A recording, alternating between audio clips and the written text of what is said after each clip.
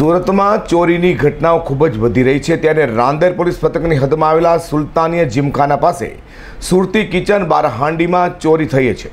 સમગ્ર ઘટના હાલ તો સીસીટીવીમાં કેદ થઈ હોય. જેમાં રીઢો ચોરી કરવા ઘૂસ્યા બાદ ભરપેટ જમી કોલ્ડ્રિંક્સ પી રોકડા રૂપિયા ચોરી કર્યો હોવાનું વિડીયોમાં કેદ થવા પામ્યું છે. સુરતમાં ચોરોને હવે પોલીસનો કોઈ જ ડર ન હોય તેમ લાગી રહ્યું છે.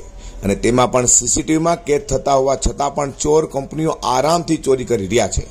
ત્યારે હાલ રાંદેર વિસ્તારની ચોરીના સીસીટીવી સામે આવ્યા છે જેમાં રાંદેર સુલતાનિયા જીમખાના પાસે આવેલા સુરતી કિચન બારાહાંડિયામાં એક ચોર રાત્રિના સમયે ત્રાટક્યો હતો જેની હોટલમાં ઘૂસી ભરપેટ જમ્યા બાદ કોલ્ડ્રિંક્સ પી કાઉન્ટરમાં મૂકેલા રોકડા રૂપિયાની ચોરી કરી ભાગી છૂટ્યો હતો સીસીટીવીમાં ચોર બિંદાસ થઈ ચોરી કરી ભાગી ગયોનું દેખાઈ રહ્યું છે सुल्तानिया जिम खाना के ऑपोजिट में सना कॉर्नर पे सुरतीस किचन नाम का रेस्टोरेंट है मेरा पाँच तारीख को रात में तीन बज के पचास मिनट पे एक लड़का बाइक लेके एंटर किया और बाइक आगे इसने डॉलर पान शॉप है, वहाँ पे रखा।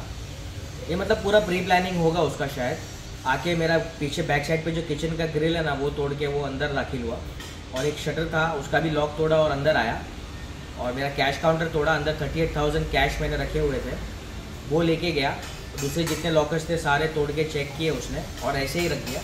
फिर फ्रिज में से कोल्ड ड्रिंक निकाला और बाहर किचन में से जो मेरा खाना बचा हुआ था, एक दिन पहले का, वो निकाल के खाया, बैठ के और उसके बाद वो गया। और मेरे यहाँ से जाने के बाद उसने लीज़ा में भी रॉबरी अटैम्प्ट किया, लेकिन उनका भी कैश काउंटर तोड़ा। वहाँ से उसे कुछ नहीं मिला क्योंकि उनका कुछ था ही नहीं वहाँ पे कैश वो लोग रखते ही नहीं थे। तो वो लोग एटलीस्ट इस चीज़ से सेफ़ हो गए कि उनका कैश नहीं गया। मैं ये चाहता हूँ कि यहाँ पे एटलीस्ट इतना पेट्रोलिंग हो क्योंकि ये इंसिडेंट पहला नहीं है जो मेरे साथ हुआ या लीज़ा में हुआ।